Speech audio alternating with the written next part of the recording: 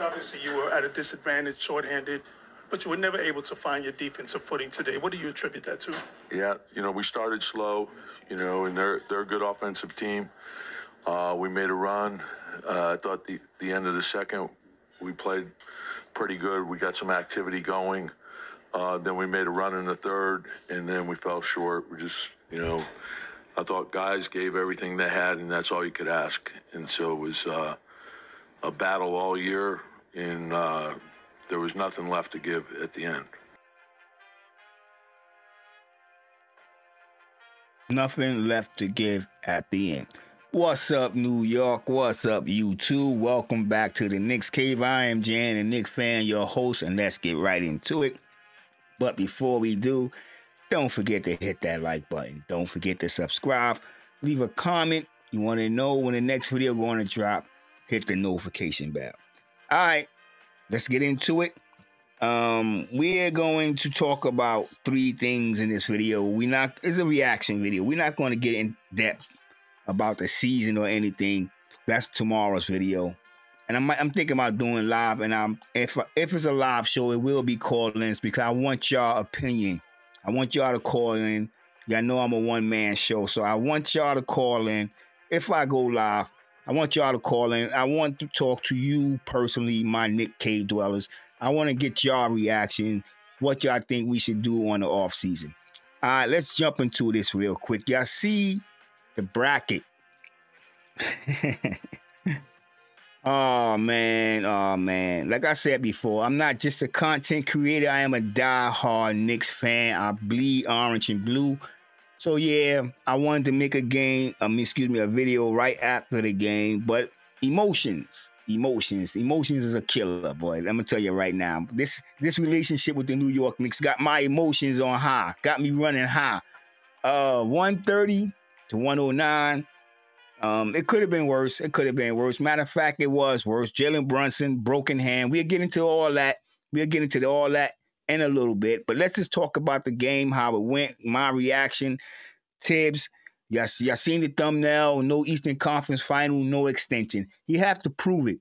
We have to go through next season, and he have to prove that he can run up offense, not just be such, uh, as y'all say, a defensive guru, I'm laughing because the Pacers, 67% playoff history, field goal percentage, never been done in the NBA playoffs before. 67%. Reaction sound like ranting, but no, no, it's not ranting. I'm just a little, I don't know what I'm, I'm a little of. There's a lot of emotions, like I said. There's a lot of emotions going on in this body right now, and this diehard Knick fan, the Knicks cave. We are not feeling good about this this loss. We had victories of grandeur, grandeur. You know, we thought we was going to the NBA finals, and a lot of y'all did too. But 67% the Pacers shot from the field. You know what I'm saying? Three points, 13, 13. It, it was you know the, the shooting. We knew coming into this series, the Pacers was the highest scoring team in the NBA, and a lot of y'all had faith in the defensive guru Tom Thibodeau. Thibodeau. I really wanted the Milwaukee Bucks. I'm not gonna lie to you. I really wanted the Bucks. Um, but we still could have beat the Pacers. This still was a series we could have beat if the coach would have made some adjustments. You know what I'm saying? slow the slow the paces down. He wasn't going to slow the paces down, trapping and double teaming. You know what I'm saying? We could have went to a two two man, three man, two three two three zone, two three zone. You know, some excuse me, got caught there. could have went to a two three zone, and I think that two three zone would have slowed the paces down. You know what I'm saying? Personnel wise, again, um, what can I say? Burks. I know a lot of y'all was hot. A lot of y'all was giving Burks the, you know what I'm saying? I, I, said a few things about Burks, but I also say he still needed a chance to be on the floor. I, what my my point was that coming in the game for five minutes, what do you expect a player to do? Now, you're gonna say he threw in some players tonight, the game, but these guys not used to playing with each other. These guys was there in the headlights.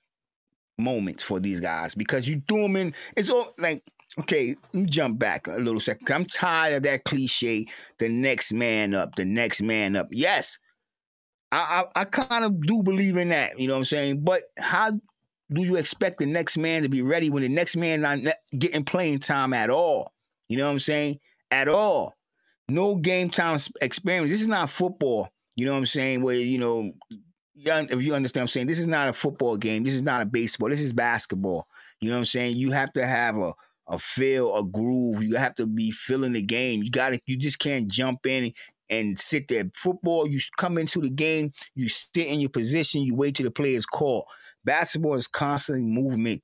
Uh, knowing where your your your teammate's going to be, knowing how your teammate like the ball passed. It was no gelling throughout the season. You know what I'm saying? And every time a player went down and a player stepped up, and we are like, yeah, when we root for that player. But what we forgetting is that that player could have been playing the whole time. Eight man rotation, nine man rotation, seven man rotation. Carlisle used 11. He's down there and used his whole bench. When a player wasn't playing up to par and he think he couldn't do work or whatever the case may be, he went to somebody else. He went to somebody else. This is what I'm talking about adjusting, adjusting, adjusting. All right, let's talk about Brunson, what he gave us this year. Um, I still have like y'all seen my last video. I said if Brunson didn't come out and make the adjustments as like a true leader should, the Knicks wasn't gonna go anywhere. He came out and tried to be that superstar. I know he, he got to get himself going, but there was a lot of times that you know in this game, in the last game, and honestly, in this in game six, we could have won that. We could have won game six. I don't care what nobody say. We could have won game six if we would have went away from the isolation. And as a player, you know what I'm saying? Yes, I want to be the star. So I, I can't blame Jalen Brunson because he's doing what he's supposed to do. He's doing his job. Let's just let's just be real. He's doing his job. So there's no blaming Jalen Brunson at all. There's no blaming him at all. If he's doing his job, he's going out there doing what he's supposed to do, putting up points. But tonight he wasn't putting up points. And game six, he really wasn't putting up points. My thing with Jalen Brunson is, okay, go out, take two shots, take three shots. You you you ain't get it. Pass it. You know what I'm saying? Pass the ball. You know what I'm saying? Uh, get the defense uh, from attacking you. Let them know that you're going to distribute the ball, that you're getting rid of the basketball.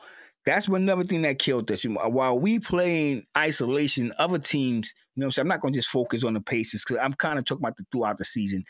But most of the teams, well, the Pacers, move the basketball and, and the style of defense that we play, it's no way in hell. It's no way in hell we going to keep up. We was lucky.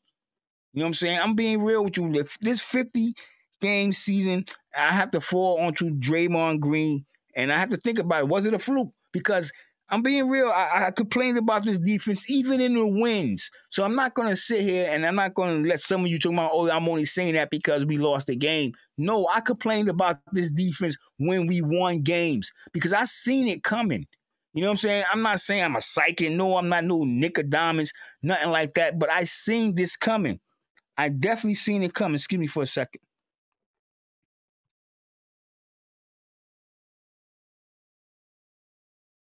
I seen this coming.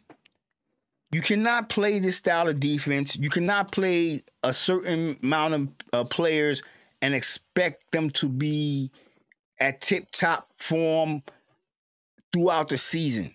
I said it once, I said it before. This is what happened to Derrick Rose. And a lot of you, a lot of you do not agree with me. And I and I understand. I understand, you know, you know, you don't want to see it that way. You it's it's it's it's it's the Knicks, you know what I'm saying? It's you know what I'm saying? We was having a good year. It's Tom Thibodeau. I don't know. I because I'm stuttering. I'm I'm all over the place right now. Like I said, emotional. But um I don't understand. Well, I guess I can. But to an extent, the support of this coach. Um, and I, and I, and I said it, I, am gonna say it again. It's the talent we have. and we can be much better if we had a better coach. And I'm just gonna say it like that. If we had a better coach, the New York Knicks would be a better team. We would be going into the Eastern Conference Final. We probably would be the number one seed in the East if we had a better coach with the talent that we have on this team. And I know a lot of people talking about oh blah blah blah, Boston. You want to talk about Miami? We have talent on this team. And even the players that we trade away, no, I'm not talking about RJ. Some can say, man, you quickly, but I'm gonna talk about a player like Malachi Flynn. A lot of y'all gonna say, well, he's so good, how come he been around? Because the man, there haven't been a coach to really give the guy, the kid, a chance. I think having Malachi Flynn coming off the bench, the points, he could have been our TJ. You know what I'm saying? That's how I'm looking at it. See, this is what I mean about coaches and not playing players to their full potential to their full potential. So Thibs is not the only coach that's guilty of that. There's a quite a few coaches, but I'm not worrying about them other coaches. I'm worrying about the coach that coaching the New York Knicks. And I've been saying it throughout the season that this guy, this guy, man, this guy, this guy, man, he's he's a, he's an assistant coach at best.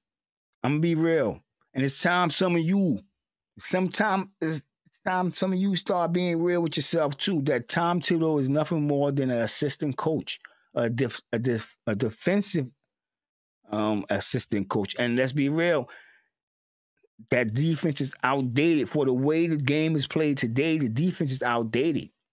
You can't be forcing guys to long twos because guys don't take long twos no more. The, the league take threes. You know what I'm saying? We, we always hear the announcers talk about if you, the guy get a mid-range jump shot, he'll be a superstar. There, there are no mid-range takers no more. I mean, it's a rare time you see a guy take a mid-range 12, 15 foot jumper. Everything is three-pointer or cut to the basket. And the defense that Tom Thibodeau runs, it pushes you to long twos. Today's we take threes. And when we move that three-point line out, another extra two feet from the original spot, and guys are still hitting it on a consistent basis. That goes to show that this defense cannot compete in today's fucking game. That's that's real. So what I'm trying to say to you that Tom Talib, Tom Talib, Tom Thibodeau is obsolete in today's goddamn NBA. He's a he's an antique. That's the best way to describe him. Now, we're going to end this show talking about the rotation because we was hype. Man, we was hype. You know what I'm saying? Judging by the response of my video, a lot of people was looking forward to seeing Anunoby and Josh Hart play. Anunoby came out. He gave us how many minutes Anunoby played? Give me one, give me one second. Excuse me for a second. Anunoby played four minutes. Four minutes. I had a feeling it was going to be something like that. He's going to come out try to give him give it his best and not be able to comp- you know complete the whole game. But this is when the coaching takes takes in hand. This is when the coaching comes in.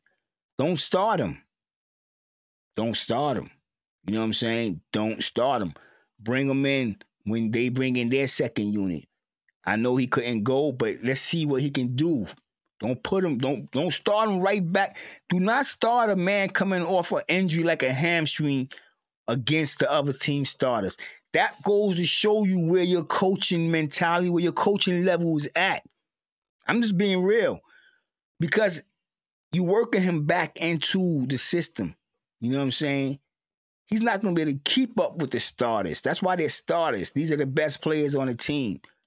Let him come in on the second unit, see how he running. All right. Again, Miles McBride, when you made that switch and um game five that brung us back in the second half, bringing McBride, starting him. Why didn't you start him in game six? Why didn't you start him in game seven? I don't understand this. Like, if you see something that work, why don't you stick with that? This is what I mean about Tom Thibodeau coaching ability. I don't know if it's a coaching ability or is, it, or is it just ego that is my way and my way work. If it don't work, the damn, the hell with it. You know what I'm saying? The hell with it. I don't know. I'm being real with you. But what I do know that tonight, well, today at the Garden, the Indiana Pacers put on a show. Uh, it was embarrassing. Halliburton you can't have a player as on like Miles on him. He's too small. You had other guys like Jeffries. You had Sims, DRQ. I mean, this is what I'm talking about. I know y'all talking about, oh, these guys are bums. We're not bringing these guys in for offense. He's supposed to be a defensive specialist guru. He's supposed to have these guys ready. Like he said, next man up. So he's supposed to be bringing these guys in for defense. And that's to stop Halliburton. Because uh, Jeffries is about six, six, six, seven. That can be, a, you know, an obstacle for Halliburton. You don't think that way? Now that you got one of these guys running around with Halliburton, that frees up Miles McBride for the offense. That frees up Jalen Brunson for the offense. Where is the coaching? This is what I'm talking about. No Eastern Conference, no extension. Because I don't see it. Man, listen, man. Listen. This is this this this right here is a testament to his coaching ability. Come on, y'all. We got to be real, man. We have to be real about this coach. And I'm telling you, if we had Randle back, I don't think we'd have made it out of the um out of the first round because it would have been crazy. It would have been just too much isolation.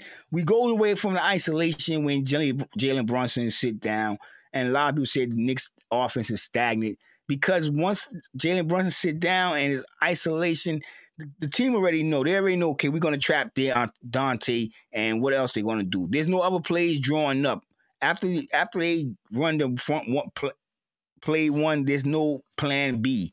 Well, I don't see it. Do y'all see it? Tell me. I don't see it. And this is why the offense is so stagnant. There's nobody cutting to the baskets.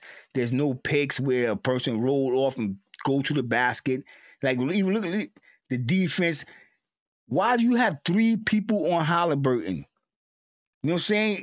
You look where like we watching the replays of this, this video right here. Look where um Miles McBride gotta come. The trapping, yo, no Eastern Conference final, no extension. That's how I feel. Tell me what y'all think in the comments. And with that being said, I want everybody stay safe, stay healthy, God bless, and peace.